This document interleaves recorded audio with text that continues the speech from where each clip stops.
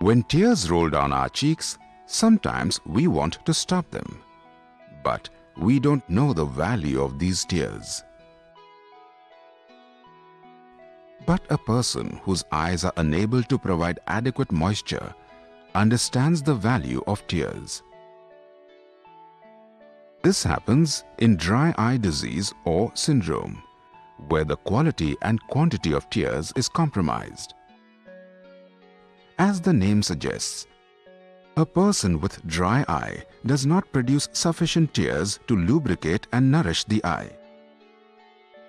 Lack of tears in providing moisture can cause soreness and itch among other symptoms in patients with dry eye. Tears are made up of more than just water. They are a complex mixture of water, fatty oils, proteins, electrolytes, bacteria-fighting substances and growth factors that regulate various cell processes. In a healthy eye, the tear film lubricates the eyes adequately and a sufficient quantity of tears are produced. The tears that lubricate the eye have an important everyday function. A film of tears spread over the eye by a blink makes the surface of the eye smooth and optically clear. Without the tear film, good vision would not be possible.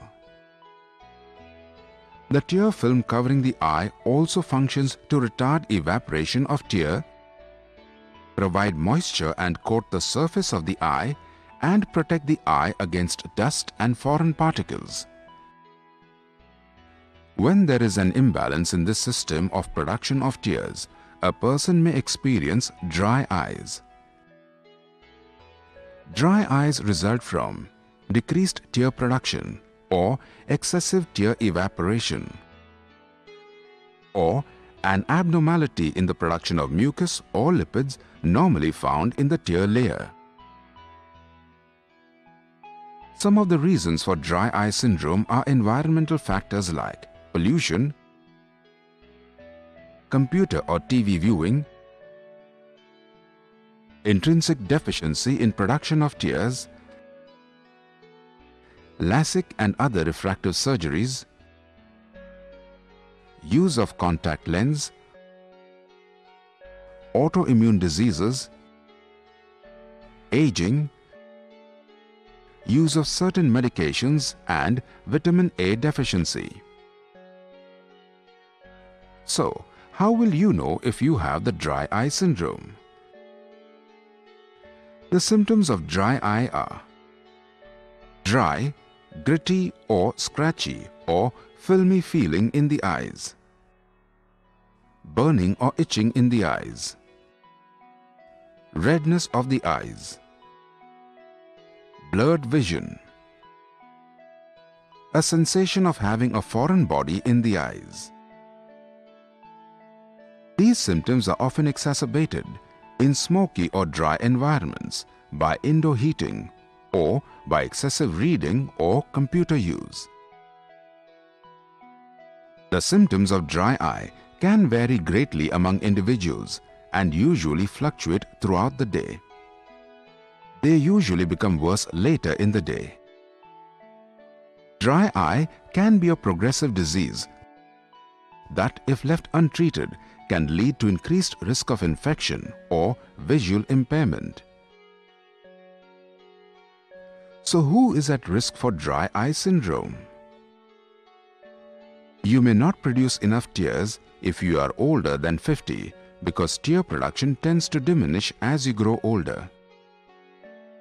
Tear production may reduce if you are a postmenopausal woman. This may be due in part to hormonal changes. You may not produce enough tears if you have a medical condition that reduces your tear production. Dry eyes are also associated with some medical conditions such as diabetes, rheumatoid arthritis, lupus, scleroderma, Sjogren's syndrome, thyroid disorders, and vitamin A deficiency.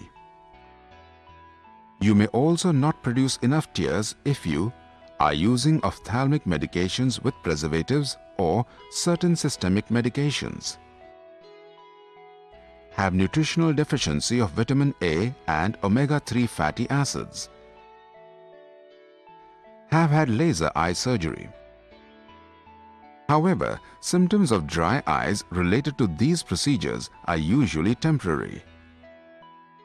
Have tear gland damage. Damage to the tear glands from inflammation or radiation can hamper tear production. Eyelid problems can also cause dry eye. If you have an eyelid problem that makes it difficult to blink, tears may not be spread across your eye adequately or your tears may evaporate too quickly, causing dry eyes. Once you have been diagnosed with dry eye, your doctor may prescribe eye drops with artificial tears. The general treatment approach of dry eye syndrome includes avoiding exacerbating factors, tear stimulation and supplementation, increasing tear retention and eyelid cleansing, and treatment of eye inflammation. For mild and moderate cases, supplemental lubrication is the most important part of treatment. Application of artificial tears every few hours can provide temporary relief. Lubricating tear ointments can be used during the day, but they generally are used at bedtime due to poor vision after application. Other measures that can be followed to minimize the effects of dry eye are purposely blinking, especially during computer use, and resting tired eyes. Wear glasses or direct gaze downward, for example, by lowering computer screens to protect the eyes. Cold compresses help itchy eyes due to allergies. Warm compresses work best for dry eye symptoms of burning and sand gravel sensations. Avoid dry, smoky and dusty environments. Avoid hair dryers, heaters air conditioners or fans, especially when these devices are directed towards the eye. And since prevention is better than cure, remember to drink 8 to 10 glasses of water daily. Wash the eyes with clean cold running water 4 to 6 times a day. Use proper eyewear while driving bikes, especially in summer. Maintain necessary hygiene if you use contact lenses. Sleep is important for maintaining eye comfort, so don't neglect sleep. Please consult your doctor to know more about how to treat and manage dry eye.